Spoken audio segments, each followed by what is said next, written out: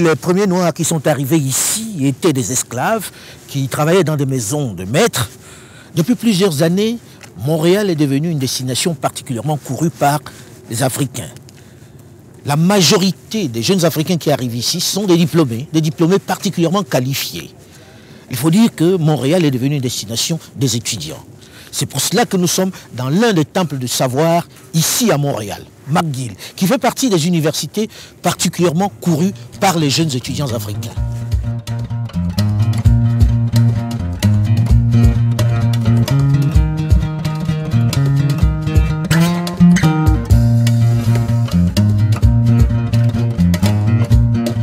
Située en plein cœur de la ville de Montréal, L'université de McGill est l'une des plus anciennes et des plus prestigieuses du Canada et considérée comme la meilleure université du Québec.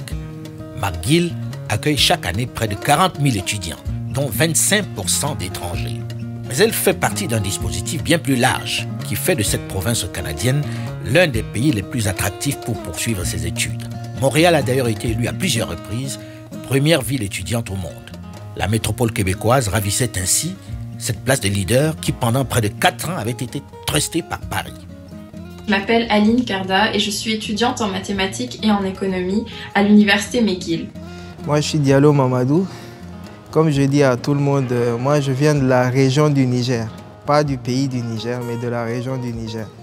Et j'étudie en économie et finance à l'Université du Québec à Montréal.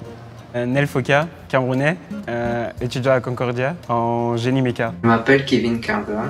Je fais un bachelor en administration des affaires à John Molson School of Business, qui est une branche de Concordia University. Je m'appelle Inès, je suis française d'origine camerounaise.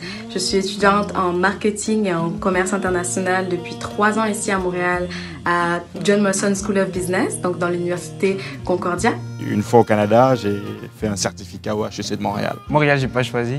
Le choix s'est fait entre quatre personnes. Mais c'était pas un mauvais choix, c'était un très bon choix. J'avais pas grand chose à dire. L'expérience ou la décision de partir, c'était dans un but d'étude. La décision a été très rapide, le processus de venir au Canada, mais Montréal, c'était pas tout de suite, parce que quand j'arrive, c'est en pleine tempête de verglas, janvier 98. Expérience assez particulière, j'ai découvert la dépendance qu'a ce pays à l'énergie euh, électrique. On va dire que généralement en Afrique, on a une image positive des universités canadiennes. On va dire que ce n'est pas réellement moi qui ai choisi, mais c'est plus au niveau de mes parents qui m'ont influencé en fait à choisir Montréal, notamment pour apprendre l'anglais, qui est un facteur important dans la société d'aujourd'hui. J'ai fait le choix de venir à Montréal parce que je voulais absolument poursuivre mes études en anglais. Et l'avantage ici, c'est qu'il y a vraiment des universités aussi bien anglophones que francophones, car c'est une ville bilingue. Euh, déjà depuis petit, euh, j'étudiais qu'en anglais. Euh, donc l'anglais pour moi c'était vraiment comme disons ma première langue. À Concordia c'est vrai que après, après les cours, les cours sont en anglais, mais directement après les cours, t'as plus d'anglais, t'as plus beaucoup d'anglais, surtout avec les gens que je fréquente. Je pense que le mélange c'est bien. Euh, j'ai choisi Montréal parce que j'ai toujours voulu étudier à l'international, j'ai toujours voulu voir euh, euh, ce que les autres pays que la France pouvait m'offrir sur le plan des études, sur le plan de développement personnel et développement professionnel bien sûr. Euh, en faisant mes recherches, je me suis rendu compte que Montréal avait été élue meilleure ville euh, d'étudiants dans les Amériques. Euh, et aussi euh, sixième sur le plan global, donc le plan mondial. Et en arrivant sur place, je me suis vite rendu compte que ça avait été bien mérité parce que Montréal offre vraiment des très très bons avantages euh, sur le plan personnel et même sur le plan professionnel en arrivant ici. Montréal, c'est une ville étudiante. Il y a toutes les structures pour déjà étudier, il y a toutes les structures pour se divertir. Dans mon université, personnellement, et je sais que c'est aussi pareil dans les autres universités, euh, les écoles font en sorte de mettre en place des ressources qui font que les étudiants, euh, peu importe d'où ils viennent en fait, sont mis à l'aise et se sentent accueillis dans la ville directement. C'est-à-dire qu'il y a un très très grand sens de la communauté ici. Donc c'est très facile de se sentir à l'aise directement en arrivant sur place. Donc par exemple, Concordia a une association d'étudiants internationaux. Euh, suite à ça, il y a aussi plusieurs petites euh, associations qui sont dirigées par les étudiants, comme l'association des étudiants africains, l'association des étudiants haïtiens, l'association des étudiants euh, d'Amérique latine et plein plein plein d'autres encore, j'en passe. Donc il y a plein plein d'associations, des événements, des plein de choses qui sont mises en place en fait pour faire en sorte que euh, on se sente en communauté même même si on est dans un autre pays, même si on est dans un autre continent, même si on est arrivé toute seule ou même avec la famille, peu importe, on a toujours le moyen de se sentir à l'aise en allant à ces événements-là, en participant euh, aux activités de communauté et autres. C'est vrai que la métropole québécoise ne compte pas une, mais plusieurs universités. McGill est l'université de Montréal, classée parmi les cinq meilleures du Canada et occupant respectivement le 32e et le 130e rang mondial. L'université accueille chaque année plus de 67 000 étudiants, dont plus de 9 000 étrangers. Elle est affiliée à l'École polytechnique Montréal et HEC Montréal. Une fois au Canada, j'ai fait un certificat au HEC de Montréal. La réputation d'HEC Montréal n'est plus à faire. L'école occupe régulièrement le haut des classements des écoles de gestion au Canada et à l'étranger. Son MBA, notamment, est l'un des meilleurs au monde. Cette réputation attire évidemment de nombreux étrangers plus de 35% des étudiants de HEC Montréal arrivent avec un permis d'études ou sont résidents permanents. Ainsi, en sortant d'HEC Montréal, ils sont certains d'avoir un réseau de contacts partout dans le monde. Mis à part ces deux écoles, l'Université de Montréal est également réputée pour ses études de médecine et possède plus de 600 programmes de formation. Elle investit également beaucoup dans la recherche. L'Université Concordia Hébergé dans un bâtiment moderne, idéalement positionné dans le quartier animé de Concordia, dans le centre-ville de Montréal. L'Université Concordia accueille chaque année près de 40 000 étudiants canadiens et internationaux. Plus de 500 programmes de formation y sont offerts. Cette notoriété des universités, ce statut dont elles jouissent, elles le doivent à leur aspect, mais surtout à leur service. Le fait d'être étudiant à Montréal ouvre beaucoup de portes, beaucoup d'avantages à prix réduit, des transports au musée, en passant par l'épicerie et les restaurants. Entreprendre des études supérieures à Montréal offre aussi plusieurs autres avantages. Les frais de scolarité à Montréal sont moins chers que dans d'autres universités nord-américaines. Et l'on peut choisir d'étudier soit en français, soit en anglais. D'ailleurs, en 2011, la région du Grand Montréal était celle qui comptait le plus d'étudiants universitaires par habitant dans toute l'Amérique du Nord. C'est aussi très facile de se loger euh, il n'y a vraiment aucun problème pour trouver des appartements, des résidences. Tout est vraiment fait en sorte pour que les étudiants n'aient aucun mal et soient vraiment les bienvenus dans cette ville. Euh, moi, je dois avouer que j'ai beaucoup aimé mon expérience ici et que je la conseillerais à beaucoup de monde. Il y a aussi des, avantages vis-à-vis euh, du travail. Euh, sur un permis d'études, en arrivant ici, on a le droit de travailler 20 heures maximum par semaine. Donc ça, ça fait à peu près 3 à 4 jours de travail par semaine, euh, dépendant de son emploi du temps d'école, bien sûr. Euh, je trouve aussi que les employeurs sont très, très flexibles, sachant qu'il y a à peu près 8 universités, si je me trompe pas, à Montréal. Euh, beaucoup d'employeurs savent que la majorité de leurs employés partiels seront des étudiants, pour ne pas dire tous, euh, de tous âges d'ailleurs. Ils sont vraiment très très flexibles et accueillants parce qu'ils savent qu'on a des charges extra par rapport à l'école et que on a des examens de temps en temps, des emplois du temps fixes à respecter. Euh, donc euh, je trouve que les employeurs ici savent euh, s'adapter aux étudiants, euh, peut-être plus qu'ailleurs. Et c'est assez facile de trouver un travail à temps partiel ici, euh, vu qu'il y a beaucoup de magasins, de cafés, de restaurants, tout ça qui sont toujours prêts à accueillir et à embaucher en fait. Je trouve que c'est vraiment, dans mon expérience personnelle en tout cas, facile de trouver un travail près de chez soi ou même loin de chez soi permet à la fois d'être à l'aise à l'école, de, de, réussir à l'école et de se faire de l'argent de poche euh, sur le côté. Outre ses qualités incontestées comme sa convivialité, sa diversité et sa qualité de vie exceptionnelle, la plus grande ville du Québec sait convaincre à plus d'un titre. Elle déploie une véritable campagne pour séduire les jeunes étudiants qui arrivent à la fois d'Europe, mais également d'Afrique. J'ai choisi d'étudier à Montréal car c'est une ville diversifiée culturellement. Il y a plein de personnes qui viennent de l'étranger comme nous pour étudier. Euh, les personnes sont très accueillantes et cela crée une zone de confort qui nous permet de réduire le stress et la pression étant donné que nous sommes loin de la famille, de nos parents et de nos amis. On vient de se donner comme objectif que 40% de notre immigration permanente parmi la catégorie des travailleurs qualifiés soit issue des travailleurs temporaires et des étudiants. Donc, les travailleurs temporaires, c'est, et, il y a beaucoup quand même euh, de, gens de la francophonie euh, africaine qui sont recrutés comme travailleurs temporaires. C'est peut-être pas un concept qui est très développé en France parce que oui, il y a des gens qui sont là pendant une période, mais c'est très organisé. Mais il faut faire la preuve qu'on a vraiment besoin de ce travailleur. Donc, l'entreprise a un fardeau et faire la démonstration qu'on a besoin de ce travailleur. Mais euh, dans certains secteurs, euh, je vous dirais que sans les travailleurs temporaires, il y a des secteurs qui ne pourraient fonctionner. L'aéronautique, notamment, à Montréal. Des, ingénieurs en aéronautique, euh, je pense que c'est à peu près entre un tiers et la moitié qui sont de, de l'international. Situation exceptionnelle tout de même lorsque l'on sait combien les mêmes étudiants africains rencontrent tellement d'embûches, de difficultés à obtenir un visa pour aller poursuivre leurs études dans les pays européens ou aux États-Unis d'Amérique. Dans notre politique d'immigration, il y a tout, euh, tout ce qui concerne la sélection et on fait la promotion. On, a un bureau à Paris où on fait la promotion, la prospection. on va en Afrique pour faire la promotion, la prospection. Et de plus en plus, on va aller dans les universités aussi chercher ces, ces perles rares, ces gens qui ont des spécialités, ces cerveaux hein, qu'on recherche. Et euh, donc, on est actif et proactif, je vous dirais.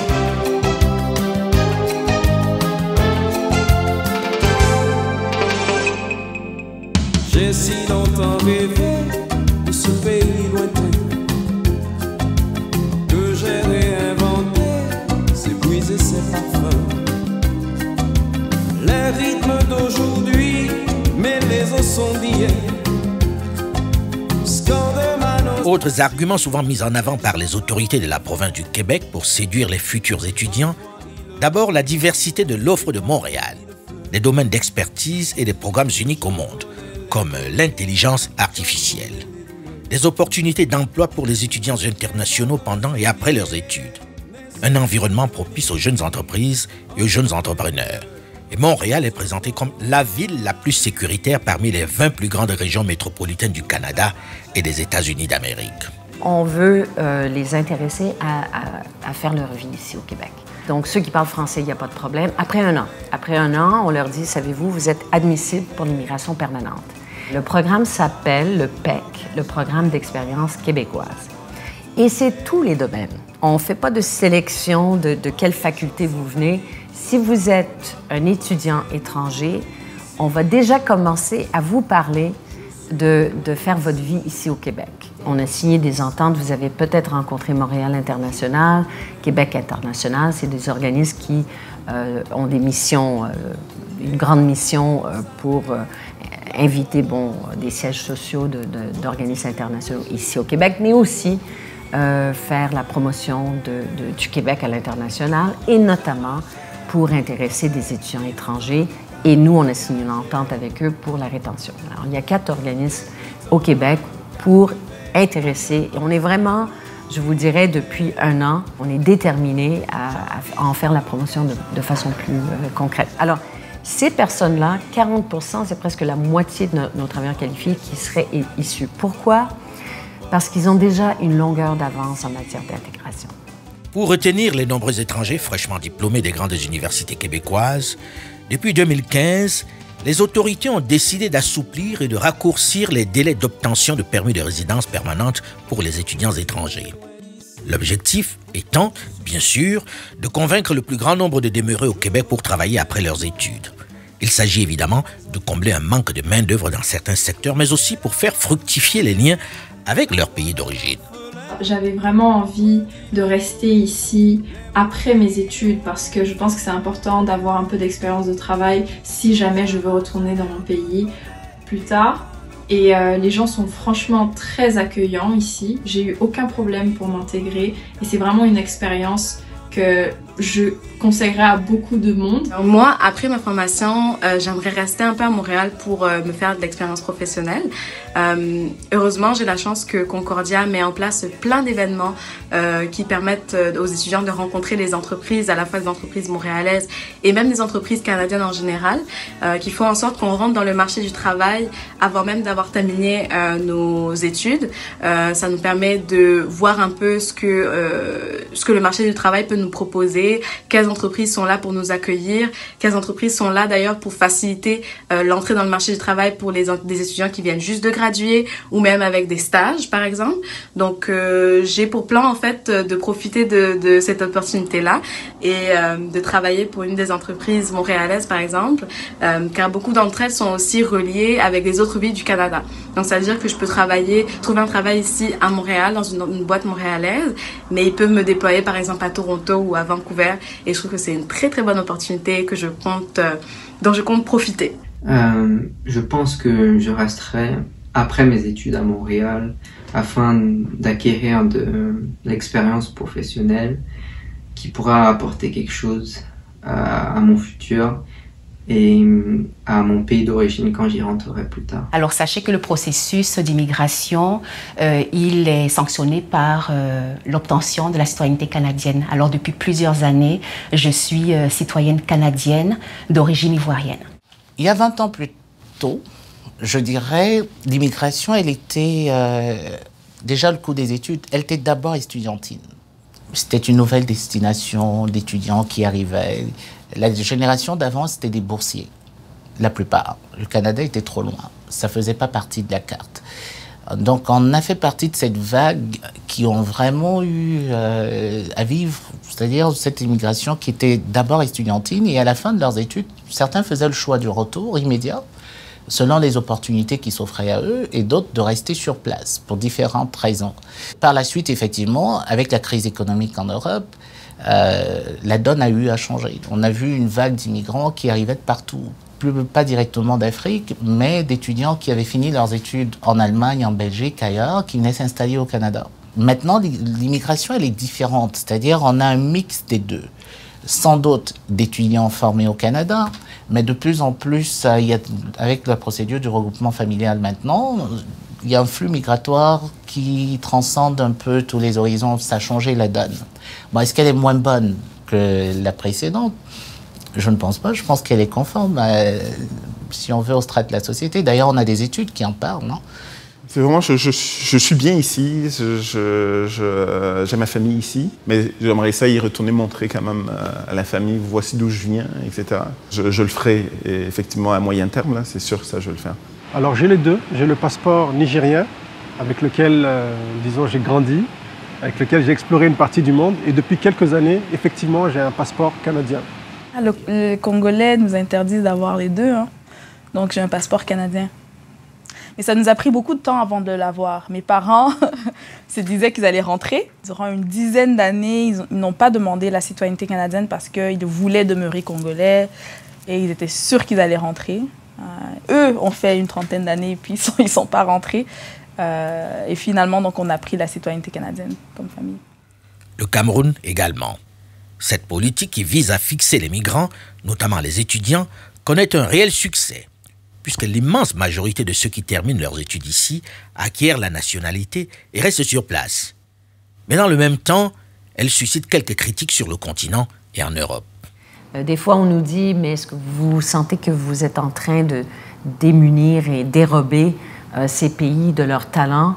Premièrement, je pense qu'il y a beaucoup, beaucoup de talents dans ces pays et le Canada, euh, le Canada, le Québec joue son rôle, mais c'est surtout le Canada qui, euh, contribuent de façon importante au développement de ces pays. Mais d'après ce que je comprends, il y a beaucoup d'investissements et d'argent qui retournent aussi dans ces pays. Il y a des recherches qui ont été faites dans ce sens. Mais quoi qu'il en soit, l'immigration, moi je suis la ministre de l'immigration, évidemment, mon intérêt, notre intérêt, c'est de recruter ces gens qui veulent venir ici, qui veulent faire leur vie ici. Mais c'est sûr que nous, on recherche des immigrants qui correspondent euh, aux besoins de nos entreprises. Ici, à Montréal, on, développe beaucoup des secteurs d'excellence à haute valeur ajoutée. C'est l'aérospatial, c'est les technologies, c'est les jeux vidéo. Alors, ça demande des, des compétences qui peuvent être considérées comme euh, effectivement élevées. Moi, je pense que c'est quand même des personnes qui peuvent redonner aussi après, qui peuvent créer des liens avec leur pays, qui peuvent avoir des idées aussi pour, pour leur pays. On en voit beaucoup. Nous, ici, à la Chambre, même comme organisation, on a euh, plus que 30 de nos employés qui sont issus de, de l'immigration.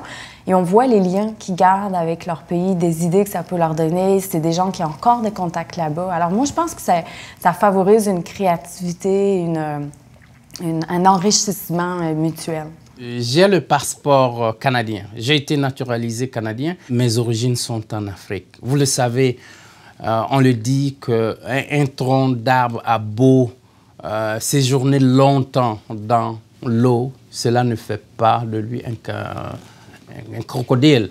Alors, donc, oui, je suis canadien, mais j'ai des origines africaines. Je reste, euh, comme vous, un Africain dans l'âme.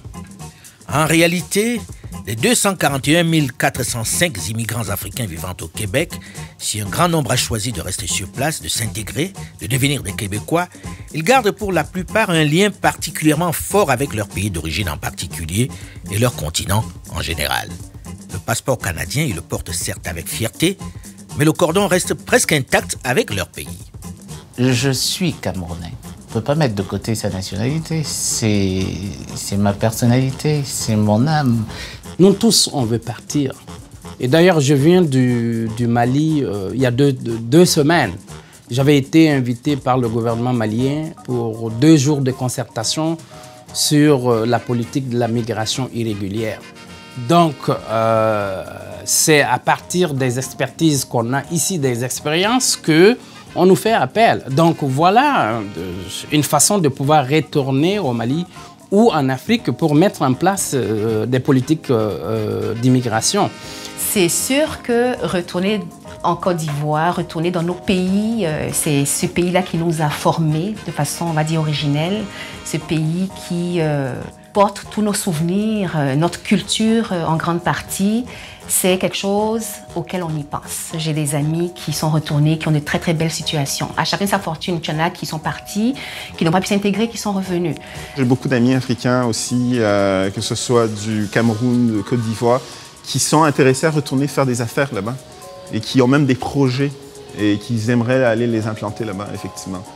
Euh, et parce qu'ils disent que nous, ici, on a un savoir. Peut-être parfois là-bas, ils ont des matières premières, donc ils essaient de mettre ça en, ensemble où il y a une force que, qui n'est pas exploitée et qu'eux, ils voient comment ils pourraient mieux l'exploiter. Donc, ils aimeraient ça aller euh, donner leur coup de pouce un peu. Je suis parti d'abord de l'Afrique. J'ai d'abord travaillé en Afrique longtemps. Ça, ma, boucle va revenir. Il faut que je la fasse, ma boucle. J'ai travaillé longtemps d'abord en Afrique. Je suis parti en France parce que j'avais une source de connaissances. J'avais toujours envie, d'évoluer. Je suis revenu. Je suis venu au Canada et je repartirai aussi en Afrique. Ça, c'est mon objectif final. Sur deux choses. D'abord, je me bats actuellement à travers mon entreprise. Je me bats aussi actuellement à travers la structure que j'ai mise en place par ce, par, par ce bouquin-là pour pouvoir continuer sur deux aspects en Afrique. Premièrement, au niveau de la formation de mes, frères, surtout de l'élite de, africaine, et de l'autre côté, à travers l'expérience que j'ai eue, que j'ai emmagasinée aussi bien en France, ici, faire ce qu'on appelle le transfert d'expertise. Je, je, pense que j'ai jamais quitté la Mauritanie. je suis toujours sous une tente, que je suis ici ou que je suis là-bas. Je suis toujours avec des rêves de, de cette vie nomade qu'un jour va continuer. Et je trouve que ce que j'essaie, c'est vraiment approcher la vie que j'avais en Mauritanie, puis les gens que j'ai connus depuis ma naissance avec d'autres personnes, et créer un pont humain qu'on trouve un échange qui est entre les deux. On peut être parti du Cameroun sans l'avoir quitté. Je m'explique. Au quotidien, je lis plus d'articles de journaux. Je fais la revue de tous les journaux du Cameroun tous les matins. Beaucoup plus le contenu que ce qui se passe au Canada. Si je, vois, si je me fie un peu à ce qui se fait autour, euh, je remarque qu'il y a de nombreuses personnes ici qui ont des chaînes de TV, parce que maintenant on a la CRTV des chaînes africaines dans des bouquets, on peut l'avoir à domicile, euh, qui regardent la télé à la maison, qui mangent africain, qui ont un mode de vie typiquement africain. Ils ne sont qu'en contact de la société québécoise uniquement lorsqu'ils vont faire des courses ou lorsqu'ils vont au travail. À part ça, que ce soit des activités sociales, éducatives ou peu importe, on reste dans un milieu, un mode de vie typiquement africain. Moi, en tant que euh, professionnel, je me dis qu'on peut servir notre pays partout où on se trouve. Qu'on se trouve en Côte d'Ivoire, qu'on se trouve ici au Canada, on peut servir le pays. Et euh, dans l'avenir, je me vois très très bien euh, monter un cabinet d'intermédiation d'affaires où, euh, étant ici au Canada, je pourrais accompagner des entreprises canadiennes à investir, à faire des affaires en Afrique et vice-versa. J'ai eu la facilité d'avoir un parcours qui très tôt m'a exposé à plusieurs cultures africaines, puisque j'ai vécu dans plusieurs pays africains, et j'ai été confronté tout de suite à qu'est-ce que veut dire l'identité Hausa, l'identité nigérienne dans l'espace ouest-africain, dans l'espace africain, dans un pays aussi loin que Madagascar. Qu'est-ce que veut dire être africain en Europe, dans un pays latin comme l'Italie? Et ensuite, qu'est-ce que veut dire toutes ces cultures qui ont été amalgamées un petit peu dans un, espace nord-américain où il y a une spécificité francophone? Je vous dirais que la première chose, c'est qu'il y a d'abord l'identité humaine. Cette identité humaine ne réfère à aucune culture. Quels sont les principes sur lesquels vous vivez? Donc moi, mes principes, ils sont clairement établis. Ils n'ont pas de couleur de peau, ils n'ont pas de culture. Ensuite, deuxièmement, vient la deuxième couche. Cette couche, ça peut être la langue, la langue maternelle, qui est la langue Hausa. Donc effectivement, je la cultive. Il est très important pour moi de la maintenir, de continuer à la pratiquer. Et il y a également, je vous dirais, un attachement un peu plus euh, charnel, un peu plus émotionnel au continent africain. Donc très clairement, cet attachement demeure, je le cultive, et je ne le cultive pas avec l'obsession de rentrer en Afrique. La question c'est pourquoi est-ce qu'on veut rentrer en Afrique? Est-ce que c'est parce qu'on veut participer à une prospérité économique? Si c'est celle de l'Afrique, il faut qu'elle soit aussi celle des autres pays.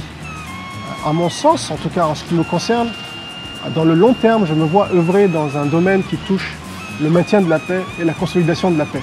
Je pense que l'humanité doit tendre vers la non-violence, vers la paix. Et peu importe l'endroit où je me trouve, tant que je suis capable de contribuer à cette cause-là, eh bien je sers la cause du continent africain. Donc euh, pour moi aujourd'hui, l'endroit ne se pose plus. La raison d'être de la diaspora en Amérique du Nord, elle était d'abord essentiellement économique. Ils veulent des meilleures études pour leurs enfants, ils veulent avoir des meilleures conditions de vie ou de travail. Mais lorsqu'on pose la question à 99,99% des gens, ils vous diront à leur retraite, ils se voient retourner au Cameroun. Oui, ils sont partis, mais ils ne sont pas partis pour toujours. Ils partent pour une raison, mais ils pensent toujours pouvoir rentrer un jour. On a un programme euh, au ministère qui s'appelle euh, Export Québec, euh, qui justement va aider les, entreprises qui organisent des missions dans le cadre. Il y, a, des missions qui vont venir bientôt pour l'Afrique. et on a dans les, chaque, dans les ministères justement un spécialiste attitré à l'Afrique qui connaît très bien ça et qui, qui, travaille avec différents partenaires pour justement mettre en place des missions, que ce soit au Congo, Côte d'Ivoire. Euh, même récemment, euh, je pense, euh, la ministre des Relations internationales a, annoncé que le gouvernement va ouvrir un bureau, plus de bureaux de délégation du Québec, un peu qui, qui serait un peu comme l'équivalent des, des, pas des ambassades, le, Québec est dans la Fédération canadienne, mais c'est plus des bureaux qui sont là pour accompagner toute entreprise québécoise ou, ou euh, québécois qui est intéressé à faire des affaires euh, localement. Ça, c'est très important. On a le ministère des Relations internationales, donc c'est la mission euh, vraiment de, de, bâtir ces ponts et de faire en sorte que nos relations commerciales, économiques soient un peu partout. On cherche toujours à avoir des partenaires pour nos exportations, importations, etc., et des relations économiques. L'immigration, et c'est un de nos arguments forts, c'est des gens qui agissent comme ce qu'on appelle des têtes de pont. Hein? Et c'est tellement vrai, je vous dirais, je le remarque beaucoup, c'est des gens qui sont très dynamiques, euh, très, un profil très international. C'est des gens qui bougent et qui ont bougé et qui connaissent beaucoup de pays. Hein? On parle avec euh, quelqu'un de la Côte d'Ivoire ou, ou, de Sénégal, du Cameroun, on voit qu'il y a comme une fraternité entre eux, ils se connaissent bien et, ils sont déjà euh, très proches. Le lien que j'entretiens avec euh, mon pays, la Côte d'Ivoire, est un lien très fort. Donc, après plus de 10 ans, sinon 13 ans euh, de, vie ici, en tant qu'être humain, on a toujours cet appel-là de notre terre. Alors, euh, il y a environ quelques années, environ 3 ans, la Côte d'Ivoire m'a appelé. Donc, j'étais ici et puis je me sentais vraiment interpellée par un retour en Côte d'Ivoire, d'autant plus que toute ma famille s'y trouve. Mes frères, mes sœurs, je suis la seule ici à avoir choisi justement l'immigration et euh, ce qui m'a emmené justement à beaucoup réfléchir, réfléchir à mon avenir professionnel, de même que mon avenir social. J'ai fait plusieurs va-et-vient en Côte d'Ivoire, histoire là de tâter le terrain et voir dans quelle mesure je pourrais me réintégrer dans mon pays d'origine. Mais euh, au bout du compte, le choix a été pour le Canada. Savez-vous pourquoi? C'est parce que lorsque j'étais sur le terrain, j'ai réalisé que le fait que je sois ici au Canada est un élément intéressant pour les Ivoiriens qui se disaient qu'ils ont une de leurs filles qui travaille ici, dans l'une des organisations économiques la plus importante au Canada. Alors, elle a des choses à nous apporter. C'est pour cette raison que je suis euh, restée ici. Et le lien, il est fort parce que je sers justement d'interface entre la Côte d'Ivoire et le Canada. D'ailleurs, dernièrement, euh, on a invité, dans le cadre de nos activités euh, sociales africaines, le président de la Chambre de commerce de Côte d'Ivoire à l'une de nos tribunes. Donc, c'était une façon justement là de faire, donner de la visibilité à, ce pays-là et à d'autres pays d'Afrique, justement. en tout cas, je continue toujours à aller en Mauritanie. J'ai fait euh, de voyages deux, trois fois par année en Mauritanie.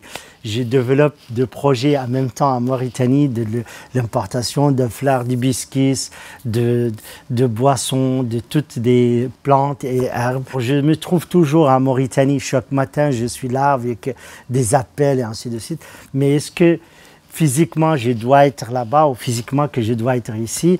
C'est comme l'Internet. On peut aujourd'hui être à Paris, mais en même temps on est à Tokyo, mais en même temps on est... Et ce que je vois, c'est plutôt ce principe que aussi on peut être humain ici ou là ou ailleurs.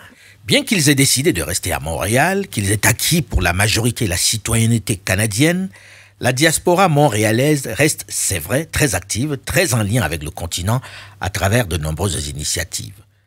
Le REPAF contient en son sein des membres euh, qui, qui, ont des entreprises qui font beaucoup d'affaires entre le continent et le Canada. Euh, leur contribution est, importante euh, et dans la façon dont ils font les affaires avec le continent, non seulement ils développent des partenariats donc avec des, des, personnes de confiance, mais ils travaillent aussi beaucoup à former des jeunes sur le continent à travers, à travers leur business. Notre travail, c'est de supporter ces entrepreneurs-là qui ont eux-mêmes leurs propres projets et ces projets-là supportent certains certains défis du continent africain finalement. On a par exemple un membre qui a euh, une entreprise de transfert de fonds. Donc c'est une initiative qui est, qui est très louable et puis donc le REPAF euh, supporte son membre. D'après moi, la diaspora, elle construit. La diaspora construit. Pourquoi elle construit? C'est parce que dans nos pays, je prends l'exemple de la Côte d'Ivoire, on n'a pas de tissu social. Alors, à la fin de chaque mois, ou sinon après chaque paye, l'argent, le transfert d'argent que j'envoie à ma famille permet d'emmener ma mère à l'hôpital, permet de payer la santé de mes frères et sœurs. Pourquoi? Parce qu'on n'a pas un ministère des Affaires sociales qui va octroyer de l'aide aux chômeurs, qui va octroyer de l'aide à des personnes qui en ont besoin. Donc, cette diaspora-là, à mon avis, pourrait même faire office de ministère des Affaires sociales, pourquoi pas? Et les affaires sociales, et pourquoi pas la transformer en ministère des Affaires euh, entrepreneuriales. La plupart des cadres qui montent leur entreprise à Montréal le font en maintenant un lien fort et étroit avec leur pays. Je vois des jeunes, des hommes et des femmes qui sont dans des domaines, euh, par exemple, dans les nouvelles technologies. J'en connais, j'en ai rencontré, je les vois œuvrer. Je connais plusieurs sociétés, disons, qui sont au stade de PME, mais qui ont la force d'avoir un marché d'abord établi au Canada. Donc, ils ont des clients à Montréal, au Québec, et elles ont également des clients en Afrique, dans les différentes villes africaines. Elles font du développement d'affaires en Afrique. Donc pour ma génération, il y a clairement l'émergence d'une classe d'hommes et de femmes d'affaires africaines euh, en logistique, dans les nouvelles technologies, en gestion, qui sont en train vraiment de créer des liens d'affaires entre les deux continents. Ludovic Foyot est banquier, diplômé de HEC de Montréal. Après avoir servi dans plusieurs banques prestigieuses de la place, il a décidé de monter sa propre affaire dans le service financier, son propre cabinet. Nous sommes une forme de guichet unique en matière de produits et services financiers. Qu'il s'agisse d'assurance, de placement, d'hypothèque ou d'investissement, on parle ici exclusivement d'intermédiation financière. Euh, entre les compagnies d'assurance, les banques, euh, les compagnies de placement de fonds. Notre rôle ou notre mandat, c'est vraiment de faire l'analyse des besoins de chaque client et de trouver des produits qui sont spécifiques, évidemment, à ce qu'il recherche. Compte tenu du fait que les clients savent de plus en plus, on a affaire, euh, je prends souvent l'exemple il y a 10 ans plus tôt versus ce qu'on a comme consommateur aujourd'hui. On a des consommateurs qui sont de plus en plus avertis. Ils connaissent ces produits, ils savent qu'ils peuvent magasiner.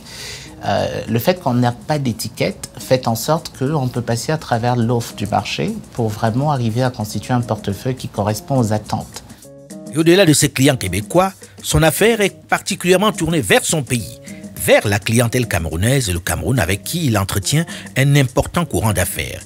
Une entreprise qui s'appuie sur le rêve de retour qui anime la diaspora.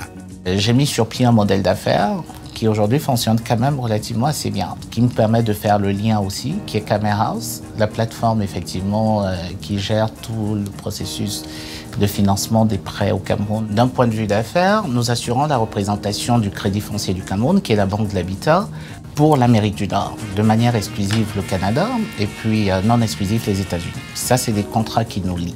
J'y vais parce qu'au-delà même de cette représentation, nous avons mis sur pied euh, une plateforme Cameras qui accompagne effectivement des porteurs de projets pour les aider à réaliser leurs projets immobiliers sur place. Donc on fait dans la construction aussi maintenant. Donc conception de projet, financement et construction. Atik Ould a opté pour la transformation des produits venus de Mauritanie. Dans son restaurant situé dans l'un des quartiers les plus branchés de Montréal, il fabrique des jus de bissap. C'est comment trouver des produits qui peuvent avoir un développement local sur la population et qui a des biens et qu'on peut euh, le vendre. Alors c'est pour cela qu'on a pensé à l'hibiscus, le, moringa et d'autres plants. Et puis euh, petit à petit, j'ai commencé à le commercialiser ici dans des boissons que je fabrique ici à Montréal et euh, adapté à la demande des clients qui sont ici, de gens qui veulent un produit santé, moins de sucre surtout, et qui a plus de fer ou du calcium ou des vitamines, puis qui sont aussi préparés selon les méthodes et l'inspection des aliments euh, canadiens ou le MAPAC et le ministère de l'Agriculture du Québec, ou la certification des écossaires qui est une certification biologique qui est très difficile aussi.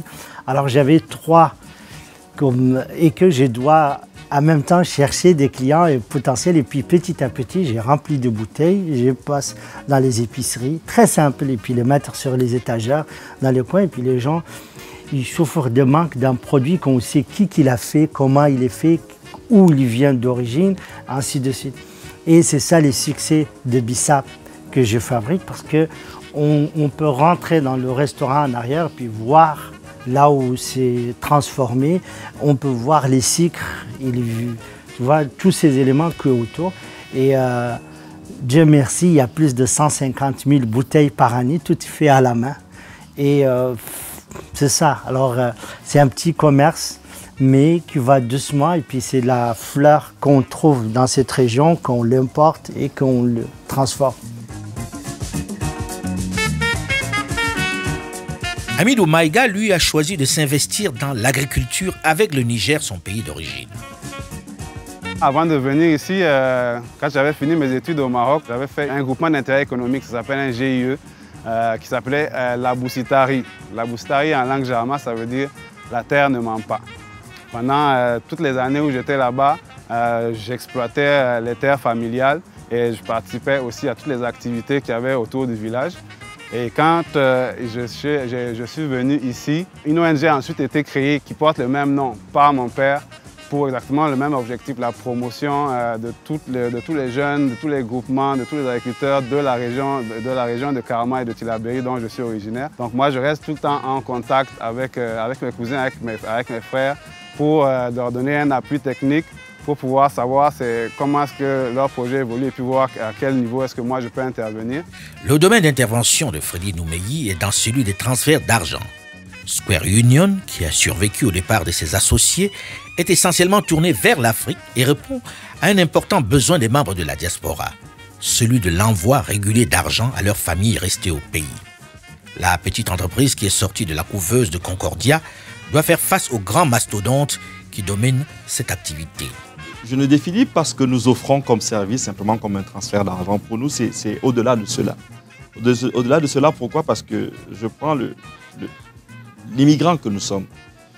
Euh, nous sommes arrivés au Canada, nous travaillons très fort pour gagner nos vies.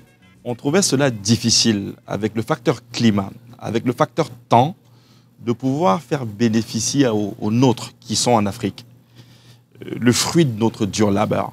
Et on se sentait pas bien de payer des sommes astronomiques pour le service qui était rendu, qui était un échange d'informations en quelque sorte. Donc, on s'est dit, qu'est-ce qu'on peut faire? Est-ce qu'on va continuer à dépendre des majors qui existent ou bien on, va devoir le bâtir? On a décidé à trois de, de changer les choses. Au-delà du traditionnel soutien financier aux familles restées au pays, ils sont nombreux les cadres de la diaspora africaine de Montréal à initier des projets en direction du continent. C'est vraiment leur focus. Je constate depuis, je vous dirais, un peu moins de dix ans, une organisation. Donc ça commence par les leaders de la communauté africaine, les hommes et les femmes qui ont une capacité de pouvoir créer des plateformes justement qui attirent les personnes qui peuvent et qui ont l'ambition de créer des liens avec l'Afrique. Je pense par exemple au forum euh, africain qui se tient maintenant depuis plus de dix ans, qui est organisé ici à Montréal, qui attire chaque deux années des décideurs africains à Montréal et qui est organisé par une, euh, une dame, une femme d'affaires d'origine camerounaise et euh, qui nous permet, nous les Africains ici basés à Montréal, de faire valoir le potentiel économique du continent africain et également de changer l'image du continent ici. Je pense également à Mariam Sidiawara qui, elle, a fait l'inverse. Elle a mis en place un festival qui se tient à Abidjan, une fois par année, sur trois jours, un festival dédié à la technologie, aux entreprises technologiques et à l'innovation, qui s'appelle Africa Web Festival.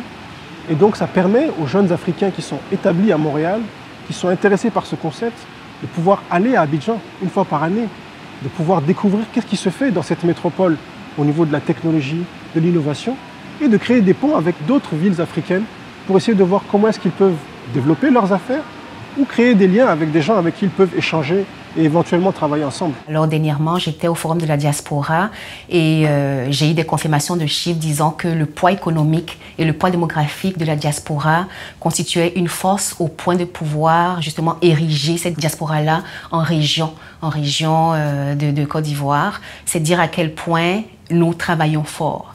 Je pense que le problème, sinon le défi, c'est de pouvoir mettre ces efforts-là dans des projets structurants des entreprises, des initiatives euh, entrepreneuriales, des initiatives justement d'aide. Moi, je pense que c'est beaucoup plus un problème de structure. Bien organiser euh, cet argent-là, bien organiser ces idées-là, cette force-là en vue de mettre en place là, euh, des éléments concrets dans nos pays. Le reproche est le même que dans l'immense majorité des diasporas africaines à travers le monde. L'aide est souvent mal organisée et se résume essentiellement à ce que l'on a appelé l'économie Western Union, c'est-à-dire qu'elle se résume au soutien aux familles, sans création de richesse, sans valeur ajoutée, ce qui est illogique et incompréhensible lorsque l'on connaît le niveau de qualification de ses membres. Un paradoxe quand on sait que la diaspora africaine est le premier financier du continent devant toutes les institutions financières internationales et les différentes aides au développement apportées par les grandes puissances. Alors, cette diaspora a une initiative euh, très intéressante qui consiste justement à mutualiser l'ensemble des fonds que les Haïtiens emmènent dans leur pays et euh, bâtir des projets avec ces fonds-là plutôt que les, les, disperser comme ça. Donc, je pense que si on, s'inspire des meilleures pratiques et qu'on n'essaie pas de réinventer la roue qui est, déjà, qui est déjà présente, on pourrait faire des choses intéressantes. Donc, euh, la réponse, c'est il faut structurer nos actions. Mais si l'on reproche à la diaspora son manque d'organisation pour structurer cette importante manne financière, elle dénonce aussi, de son côté, le manque de soutien et d'organisation des gouvernements subsahariens pour faciliter leur implication, pour fluidifier leur apport dans le processus de construction. Avec le Niger, il n'existe pas de structure formelle qui me permette de le faire et donc on passe plus par des contacts personnels, on passe par des, des personnes qui peuvent nous être présentées pour essayer de créer des liens. Donc je le fais à mon échelle ce n'est pas impossible, mais c'est moins structuré, disons, que lorsqu'on est un Européen ou un Canadien qui veut faire des liens avec son pays. Nos frères africains ne réagissent pas comme on souhaite. Je ne peux pas dire qu'ils sont aussi, des frais par rapport à ce que nous, que, que nous faisons, mais la réaction n'est pas pareille. D'abord, le côté, je prends par exemple le côté universitaire, quand vous écrivez par exemple à un confrère, quand vous exposez par exemple un projet à un, à un confrère africain, il vous répond rarement. Ça là, ça c'est clair. Il vous répond très très rarement. Critique à laquelle certains en Afrique répondent en dénonçant la condescendance de la diaspora qui n'a pas l'humilité nécessaire lorsqu'elle se déploie au pays. Je ne me reconnais du tout pas là-dedans. Euh, elle est sans doute exigeante.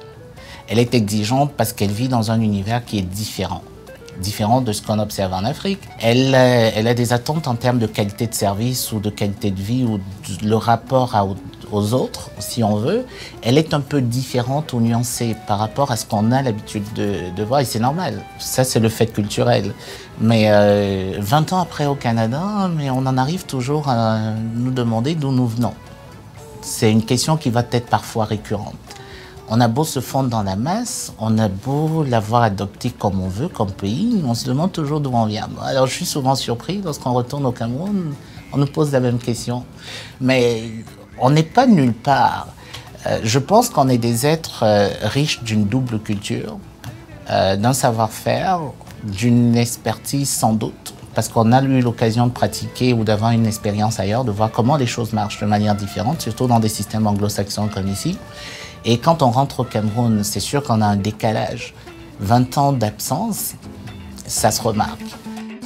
Plusieurs membres du REPAF ou des personnes qui sont passées par le REPAF sont maintenant sur le continent africain et occupent des postes de leadership sur le continent africain. Donc le réseau, le REPAF, l'organisation maintient des liens, bon, pour l'instant informels, euh, avec ces personnes-là. Dans les prochaines années, ces liens vont se formaliser, c'est-à-dire qu'on va, le REPAF deviendra plus actif euh, sur le continent africain avec ces personnes. Donc, au final, il y a des Africains qui ont connu le Canada, qui ont connu Montréal ou le Québec, euh, qui ont un certain attachement envers, envers le Canada, qui sont sur le continent africain et qui aimeraient utiliser un réseau comme le nôtre, finalement, pour euh, développer euh, leurs affaires. Au bout d'une année de recherche, euh, n'ayant aucune réponse, il a fallu que je change mon fusil d'épaule.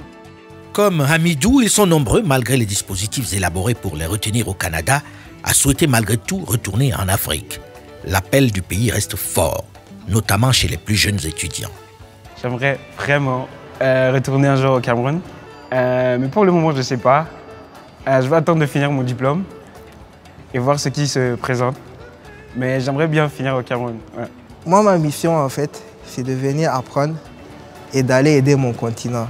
J'ai conscience aujourd'hui qu'il y a de bonnes choses qui sont en train de se faire en Afrique et des choses un peu plus négatives. Et donc, je me sens en fait comme un ambassadeur. Et ma mission, réellement, en fait, c'est de vraiment aider mon continent. Ici, il y a vraiment de bonnes structures qui sont là après, après les études pour nous encadrer. Ça, c'est vrai. Mais je veux dire qu'en Afrique, on a un potentiel énorme, en fait. Et on ne se rend pas compte forcément de ce potentiel-là. Il y a vraiment des choses importantes à faire en Afrique et j'en ai conscience. Et ce qu'on a appris ici, si on arrive à le refaire ici, pourquoi pas faire mieux en Afrique, vu qu'il y a déjà quasiment tout à refaire là-bas. Donc euh, je pense que l'avenir de demain, c'est l'Afrique. Je dirais mon rêve, c'est d'être dans le gouvernement camerounais. Mais je ne sais pas encore où.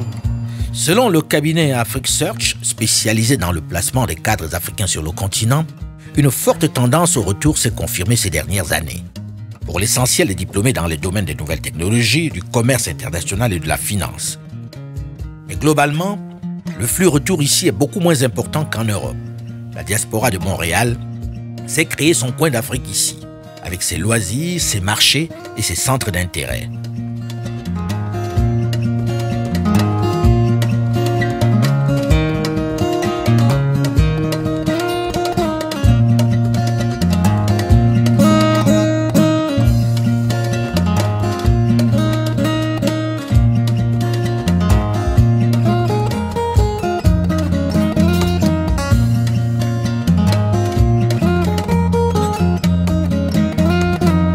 Que les Africains de Montréal choisissent plus souvent que dans les autres pays d'accueil de s'installer ici. Avec la politique d'immigration choisie adoptée par les autorités du Québec, ils sont des milliers à s'y être établis. Il existe donc une communauté africaine, mais comment vit-elle? Quels sont ses loisirs? Quel est son mode de vie dans un pays qui a accepté le principe de la communauté? Je vous convie dans la troisième et dernière partie de cette trilogie Black à Montréal à la découverte de cette communauté de plus en plus importante et particulièrement militante. Ce n'est pas parce qu'on porte un passeport canadien que l'on a gommé ou régné ses rites et traditions.